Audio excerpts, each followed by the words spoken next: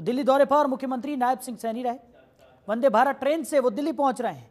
तो पार्टी के कई दिग्गज नेताओं के साथ मुलाकात वो करेंगे। विधानसभा चुनाव को लेकर भी चर्चा की जाएगी। बड़ी खबर आपको बता रहे हैं। तो सीएम नायब सिंह सैनी दिल्ली पहुँच रहे हैं। वंदे भारत से वो दिल्ली पहुँचेंगे।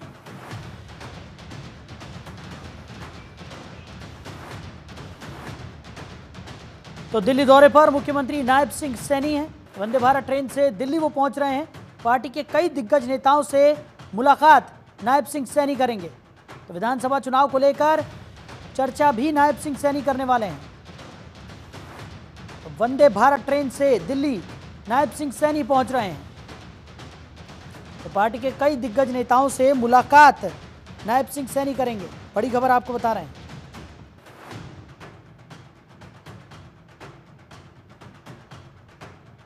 तो हरियाणा के मुख्यमंत्री नायब सिंह सैनी दिल्ली पहुँच रहे हैं। वंदे भारत ट्रेन से वो दिल्ली पहुँचेंगे।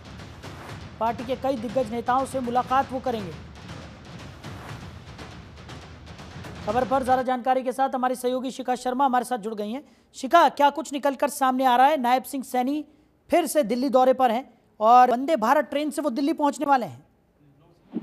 जी बिल्कुल हम सब जानते हैं कि आ, सरकार सीएम जो है वो लगातार अब पिछले काफ़ी दिनों से दिल्ली के दौरे पर लगातार जा रहे हैं। यानी ये उम्मीद की जा सकती है कि बहुत जल्द हरियाणा विधानसभा चुनाव को लेकर कोई बड़ी घोषणा जो है वो हरियाणा सरकार की तरफ़ से की जाती है की जा सकती है। और जैसे हम लगातार देख भी रहे हैं कि लगातार तबादले भी हो रहे हैं नई नई योजनाएँ जो है वो जनता को दी जा रही है। और नई नई सीएम जो है लगातार अलग अलग जनता के लिए नए नए काम जो है वो कर रहे हैं तो आने वाले समय में किस तरह से और जनता के बीच में जाया जाए और कैसे विधानसभा चुनाव के लिए पूरा कार्य पूरा एक बनाया जाए कि कब क्या करना है, उसको लेकर लगातार सीएम तो दिल्ली जा रहे हैं और केंद्रीय मंत्रियों से मुलाकात भी कर रहे हैं। शिखा, वहीं अगर बात की जाए, जैसे कि हम पहले भी चर्चा कर चुके हैं, क्योंकि नायब सिंह सैनी कई बार दिल्ली का रुख करते हुए नज़र आ रहे हैं। आज भी वंदे भारत ट्रेन के माध्यम से वो दिल्ली पहुँचने वाले हैं और जो ये बड़ी सौगात वंदे भारत की दी गई है। ऐसे में नायब सिंह सैनी भी उसका पूरा इस्तेमाल करते हुए दिखाई पड़ रहे हैं और दिल्ली वो पहुँचेंगे। कई दिग्गज नेताओं के साथ उनकी मुलाकात भी प्रस्तावित है। कौन कौन से नेताओं से वो मुलाकात करेंगे? क्या कुछ जानकारी मिल पा रही है? क्योंकि विधानसभा चुनाव बेहद नज़दीक है। ऐसे में नायब सिंह सैनी का दिल्ली जाना और लगातार बड़े दिग्गज नेताओं के साथ मुलाकात करना कई मायने भी निकाले जा रहे हैं। जी देखिए, ऐसा पहली बार नहीं है कि हरियाणा के सीएम जो है, वो ट्रेन से दिल्ली आ रहे हैं। जब मनोहर लाल मुख्यमंत्री सीएम हुआ करते थे, वो भी लग वो भी कई बार ट्रेन से सफ़र जो है, वो किया करते थे। उनका ये मानना था कि एक ही ऐसा माध्यम होता है जब आप जनता के बीच में जुड़ भी पाते हैं और जब आप ट्रेन से सफ़र करते हैं, आप जनता के बीच में रह के उनकी समस्याएँ जो है वो भी जान पाते हैं। ऐसे बहुत लोग होते हैं जो लगातार ट्रेन से हरियाणा की जनता जो है वो सफ़र कर रही होती है। सबसे बड़ी और कहीं ना कहीं समय जो है वो भी बचता है। और सबसे बड़ी बात है कि केंद्रीय मंत्री से मुलाकात करना इससे भी ज़रूरी है क्योंकि ऐसे बहुत सी योजनाएँ जो है जो जनता को देनी होती है, चाहे वो एजुकेशन से रिलेटेड हो, चाहे वो रोड से रिलेटेड हो, चाहे वो पानी से रिलेटेड हो तो ये सारी ऐसी जो है, पहले वहाँ से बिल पास, पहले वहाँ से पास कराया जाएगा, फिर जनता को सौगात जो है वो दी जाएगी। तो कहीं ना कहीं लगातार सीएम जो है वो वहाँ के केंद्रीय मंत्रियों से मुलाकात करते हैं, और जब उनकी योजनाएँ वहाँ से पास होती है, फिर जनता को योजनाएँ जो है शुरू की जाती दी जाती हैं। और अब जैसे विधानसभा के चुनाव भी आ रहे हैं तो लगातार केंद्रीय मंत्री जो है, उनके दौरे जो है वो हरियाणा में शुरू हो जाएँगे। कब किस दिन कौन सा मंत्री जो है कहा जाएगा, कब उनकी कहाँ की रैली होगी तो उसका भी कार्यकाल जो है, एक सूची जो है तैयार की जाए। की जाएगी।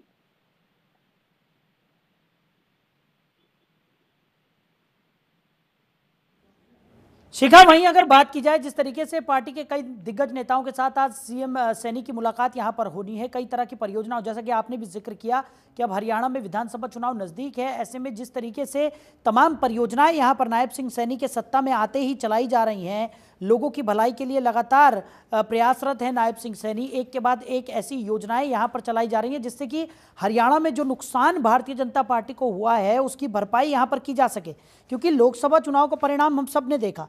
ऐसे में विधानसभा चुनाव की तैयारियों में लगातार जो आला कमान है, वो भी जुटा हुआ है। नायब सिंह सैनी भी पुरजोर कोशिश करते हुए दिखाई दे रहे हैं। लगातार दिल्ली दौरे भी यहाँ पर हो रहे हैं। कई महत्वपूर्ण निर्णय भी यहाँ पर लिए जा रहे इन तमाम चीज़ों को अगर जोड़कर देखा जाए तो क्या लगता है विधानसभा चुनाव में आ, कितना फ़ायदा भारतीय जनता पार्टी को पहुँच सकता है?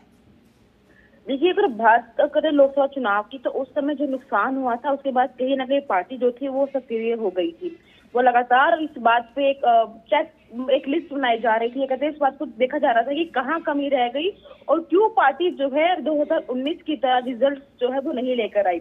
तो देखा गया कि कुछ गलतियाँ जो है सरकार से सरकार से हुई, कुछ महकमे जो थे, जो सरकार से नाराज़ चल रहे थे तो लगातार जब सीएम बदले तो उसके एकदम बाद ही लोकसभा चुनाव आ गए थे। नायब सैनी उस समय इतना काम नहीं कर पाए जितना वो करना चाहते थे। पर जैसे ही लोकसभा चुनाव खत्म हुए, वो लगातार उन्होंने अपना काम करना शुरू कर दिया। वो जनता के बीच में जा रहे हैं, रात को बारह बारह बजे उनके शिकायतें जो है, वो सुन रहे हैं, लगातार सौगातें जो है, वो दे रहे हैं, वो, और वो हर कार्य कर रहे हैं, जो हरियाणा की जनता जो चाहती है, वो आने वाले समय में हो। चाहे वो पंचायत के लोग हो वो नाराज़ चल रहे थे उनको उनकी नाराज़गी जो है दूर की गई टीचर्स और उनकी जो पोस्टिंग होनी चाहिए थी वो की गई। तो अब हम जैसे जनता के बीच में जा रहे हैं तो कहीं ना कहीं उसका एक पॉजिटिव रिज़ल्ट जो है वो हमें देखने को मिल रहा है।